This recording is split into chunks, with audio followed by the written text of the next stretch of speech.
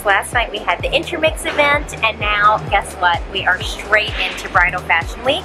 Unfortunately we have missed two days but today is full speed ahead. This one is getting on a plane.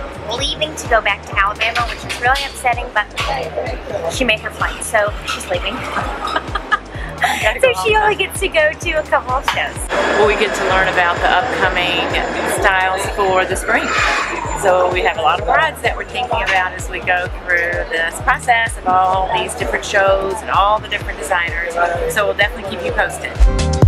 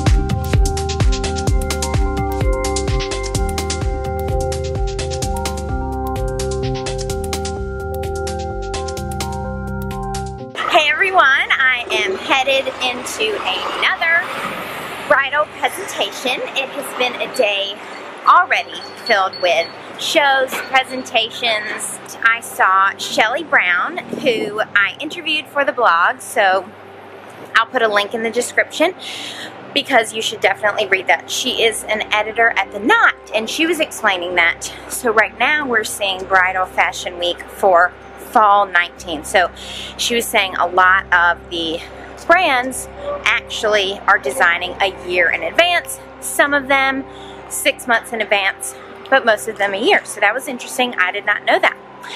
And I, of course, am exhausted since we arrived from Paris yesterday or two days ago, and then we had the Intermix event last night, and then now today is jam-packed, and it has been a day filled with traffic, trying to get, to, it's literally hour by hour, so trying to get to the next appointment, get the Uber, it takes forever to come. There's so much traffic, and hopefully make it on time before the runway show starts. But thankfully, everything is going well so far.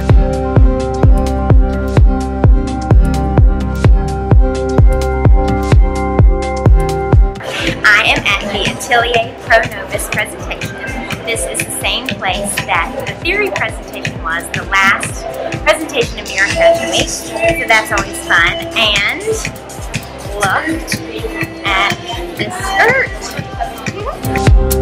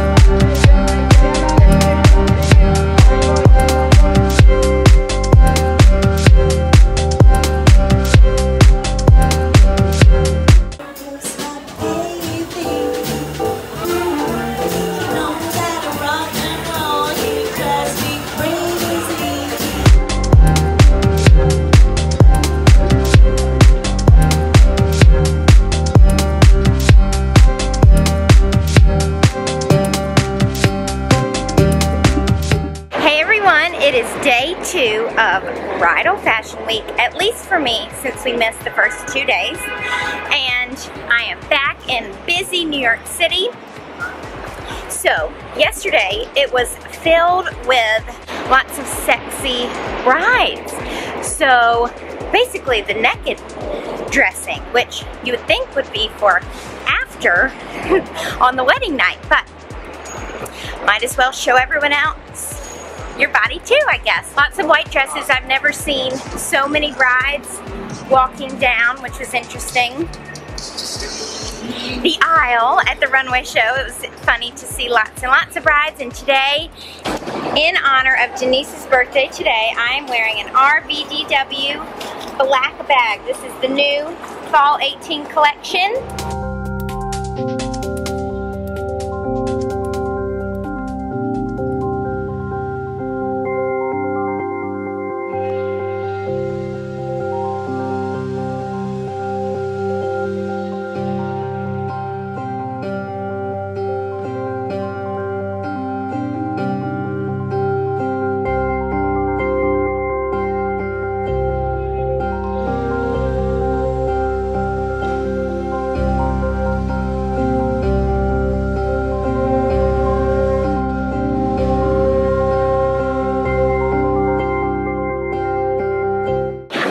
Of how Fashion Week is different from Bridal Fashion Week. So one of them, well actually with both, thankfully there was lots of diversity in sizes and colors, which was great to see. Bridal Fashion Week is so small, so you see all the same people at the shows and presentations, which is fun and I am obsessed with the back of the dress. Usually the front of the dress is not so exciting probably, but the back and the buttons and having a dramatic train, that is what I live for.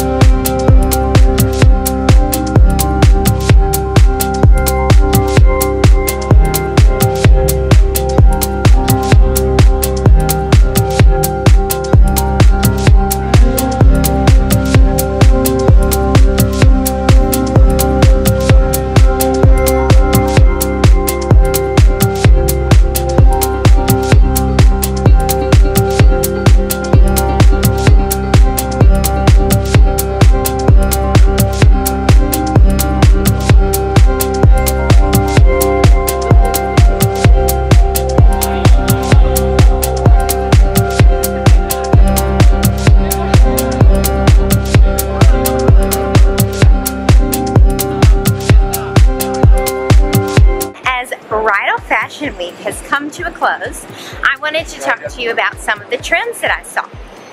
So, one of them is sleeves, removable sleeves. So, you can have a different look throughout the day and night, which is really nice. So, you could start with the sleeve in one way, let's say a long sleeve for the wedding, and then for the pictures, you could change and have multiple looks for those. And then at the party, you can take it off and it will be sleeveless or strapless. It gives you the option. It's very versatile. It is along the theme of customizing your wedding dress.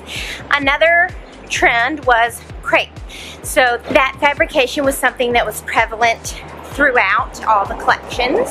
So another trend was short dresses. There were lots of mini dresses and shorter dresses going down the runway or featured at these presentations. So that can be for a second wedding or for the after party. So they were giving you lots of different options, lots of feathers in Bridal Fashion Week 2019, Fall 2019, that were both on the gowns, on the skirts, and lots of different places. So people were being creative with it.